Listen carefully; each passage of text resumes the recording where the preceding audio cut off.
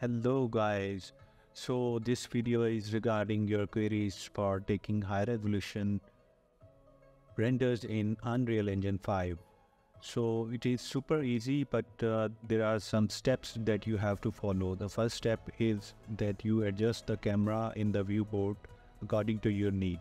So after adjusting the camera what you have to do is to hide any gizmos that appear on the screen to do that you have to press G on the keyboard to hide these gizmos. So once you press G, all these gizmos will hide.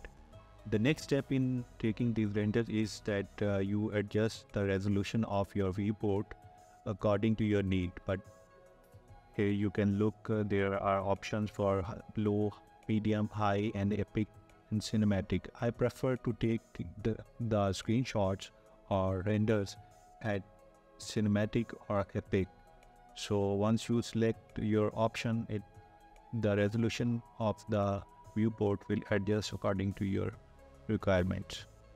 Once let it happen and once the resolution is adjusted the next step is that you select three bars before perspective here you can once you click it it will open up the options and at the lower end you can see high resolution screenshot option. Once you click it so when the dialog box is opened you can see there is uh, the first option is screenshot size multiplier. You can change this multiplier according to your need. I'm taking this screenshot at 2 you should remember that uh, the higher multiplier will actually it is actually linked to the higher size of your image. So if you want to take a higher multiplier always uh, the, always remember that uh, your image will be higher in size in large in size. So I'll take uh, this render at 2 click capture. It will take some time to render this image